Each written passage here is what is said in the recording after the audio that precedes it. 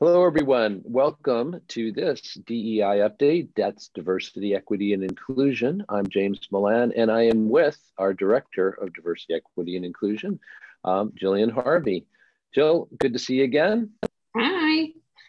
Hi there. Um, welcome. And it's been a little, a little, a little while, including um, enough time to wrap up the this year's series of uh, community conversations. Um, I think there were still two pending when we last spoke to you. So um, I think those have happened at this point. And um, if you can start by just giving us uh, your sense of how they went and uh, what you know, or you you and others have taken from them. Yeah. Um, so we had the housing conversation back in July. So that was who can live here, who decides and why.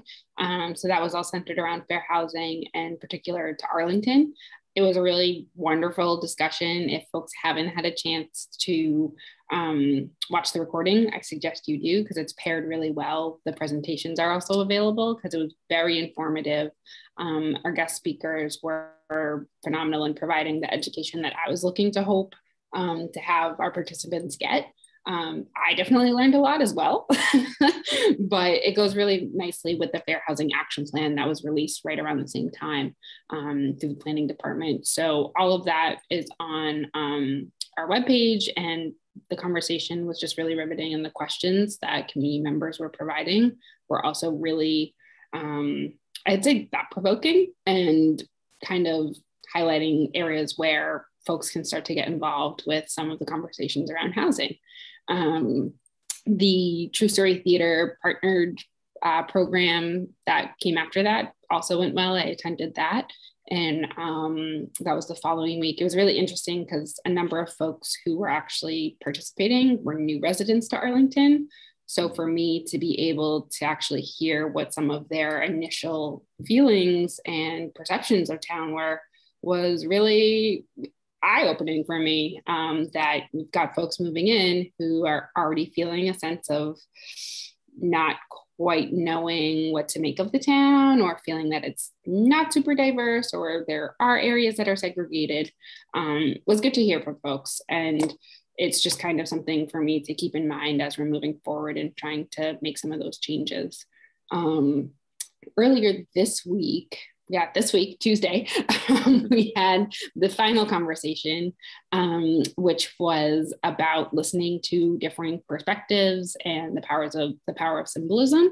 Um, I am really happy with the way the conversation went. Um, we did something a little bit different in trying to make it more engaging with our participants. So, although it was still done as a webinar, um, we did a number of polls throughout the session. So we would bring up different images and have um, almost like an emotional scale to have folks, you know, vote on what that image, um, how it made them feel and react. And then we allowed for folks to actually raise their hand and we could promote them to speak and engage in dialogue back and forth with the panelists. Um, so lots of positive feedback about the way that that was done. And um, the conversations were really great. I mean, just I was happy to see community members sharing their perspectives and opinions and asking questions of each other um, in a way that was not aggressive or stating that their opinion was right but understand the whole point of the conversation was that there are different perspectives. And in order to come to a place of understanding, you need to listen and not listen to react, but listen to understand. And I think that that really carried through the whole presentation. I think we hit the two hour mark and we definitely could have kept talking. um, the panels were phenomenal and just the engagement from community members was really great. So I was really pleased with how that um, that final conversation went. And I'm looking forward to, if we're staying in this virtual world, um, to continue to find ways to allow for more engagement in a way that's, I want to say safe for everyone. I think everyone felt that um, the way the conversation went and the amount of interaction they got was satisfactory. Um, so with that, some of the symbols we touched upon, we went we went really into some of the details of um, how original symbols are and how they've over time been I guess, hijacked and turned into mm-hmm. negative or racist symbols. And so um, going through some of that history was also really helpful because, again, we make assumptions of what we think when we see certain things. And then learning a bit more about the history, you can start to understand why someone may use that symbol. Maybe it's not in a racist way, but it's because of their past history.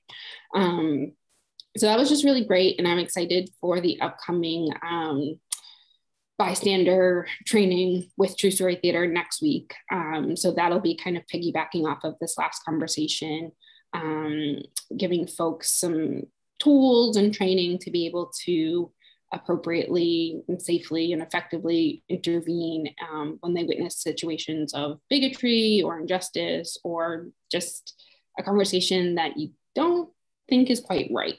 Um, so that'll be next Tuesday, and that will kind of be the recap for um, or the wrap up for the full conversation series. So we'll be sending out some information and a refresher on all of the presentations throughout the summer. Um, and I'm going to start planning for next year. Great. And um, yeah, let's just clarify for folks because they may be seeing this at, at different times. Okay. uh, that uh, next Tuesday, in this case, we're referring to uh, August 17th. Yes. Um, and that's going to be at seven the true story theater event 7 p.m is that right? Yes yep 7 to 9 okay great. Um, really nice description as well of, of how those conversations went. And and really i can't help but note that your your your enthusiasm and your excitement about that last conversation and how well it went in a number of different ways. I also just want to acknowledge that po- possibly in part that's because you, uh, on behalf of the town and of your office, have done these now for the last couple of summers and mm-hmm. have probably learned uh, through the process of doing a lot of the other conversations things that you brought to this one as you said you mentioned the interactive elements that you introduced um, and that will kind of you'll keep going with and other kinds of things so that a, a really fruitful and productive and, and good, as you were saying, conversation, collective conversation can happen around some, frankly, some tough issues, as always. Um, and uh, so kudos to you um, and to uh, all those who've contributed to put on, putting on this series of community conversations over a couple of years now, uh, because they just continue to get better as in more impactful, it feels like um, and um, and educational. So, yay for that, and we look forward again to the to next year's um, iterations uh, of of these really important events. Hmm. Um, but uh, I also want to move on to the fact that you know acknowledge another fact about your work, and that is. Uh, we end up spending probably an inordinate amount of our time uh, with you discussing uh, racism from structural racism to interpersonal reactions uh, to or uh, interactions in all kinds of ways. And clearly it goes without saying that that's important enough topic for us to spend a lot of time on. But your own work encompasses also work with the human rights commission and with the disability commission. And diversity equity and inclusion as you and i were noting before we went on air is an enormously expansive scope of, uh, of, of, of, of, responsibility, basically. Um, so I understand that you on the ADA side, uh, and that is uh, in terms of working your work with the Disability Commission, uh, that you attended a symposium, uh, I think last week.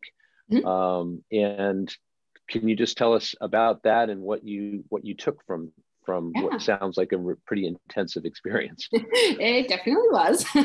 um, so last week, uh, it was a four day um, National ADA Symposium. So myself, um, Christina Kuhlman, our DEI admin, and one of the members of the Disability Commission actually attended as well. Um, it was day long, four days, um, but sort of working through a number of different topics uh, that all are related to the American Disabilities Act. And that's anywhere from compliance to best practices. Um, I learned about you know, sidewalk ramps all the way to how to make our playgrounds accessible. Um, and it's all, I'm really glad that I guess before I started, um, the town had already gone through the process of getting the um, ADA transition plan, all of that moving, and we have that. And so for me, I am going to be taking everything that I learned in the last week and um, looking ahead to see how we can start to use our plan. And I can work with other departments and other key employees in town to start to um, continue our ongoing learning and how we can improve accessibility, not just physically, but other and barriers around communication and um, just instilling some best practices too. Um, although for me, I think the biggest takeaway was that improvements for ADA improvements actually are improvements for everyone. So it's kind of the direction we need to go in. Um, but it was a lot of information that I'm still processing and probably will be over the next couple of months um, to see how we can start to work with other groups, but also improve some of the um, plans that we have right now sounds sounds good and um, i'm sure again we will see the fruits of that um, all around us uh, in in coming months and years um, you know a staple of often of our these updates with you but also updates that we do with other town officials uh, has to do with uh, the the need the continuous need for participation um, from mm-hmm. the community on a bunch of uh, different committees and boards uh, et cetera. And, you know, we have a rich uh, history and tradition of volunteerism in this town. So let's see if we can't drum up some volunteers uh, for some of the committee openings that you are aware of. Why don't you tell us what's going on in that area? Yeah, so we've got some openings um, on actually all the three commissions I work with directly. So our Disability Commission, the Rainbow um, LGBTQIA Plus Commission, and the Human Rights Commission. So those have been open. We've received applicants. We're in the process of going through everyone who's applied right now, but they're going to stay open um, throughout the, I want to say the second week of September, um, because we want to just make sure we're providing opportunities for folks who maybe have been out for the summer, folks getting back in. Um, we'll be sending the information out to parents and schools, and um, we'll also be tabling at the farmers market on September 8th. So, more information will be physically available. You can talk to commissioners there if you're looking to find out more or just have questions or just want to you know, check out a, a, commission meeting, not even actually volunteer to be a commissioner, but mm-hmm. but or apply um, just to see what the commissions are doing. So we'll be able to.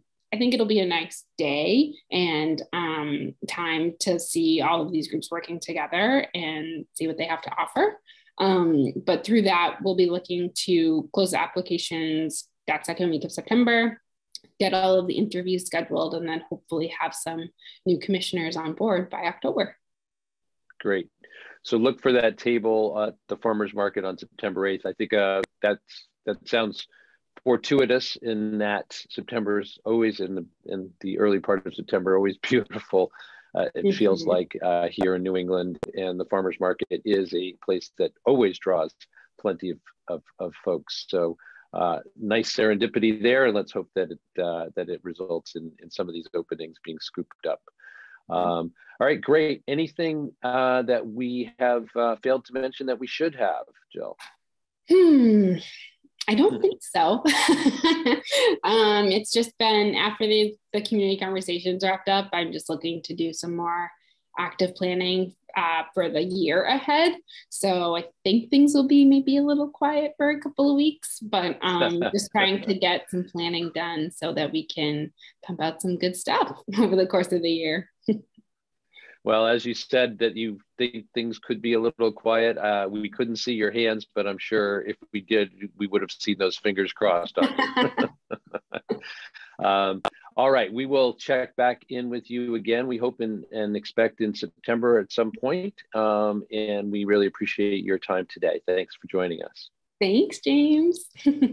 I have been speaking with Jillian Harvey, who is our Director of Diversity, Equity, Inclusion here in town. And um, this has been the DEI Update. I'm James Milan. We appreciate Jill's time as always, and we appreciate yours as well. Thanks for joining us. We'll see you next time.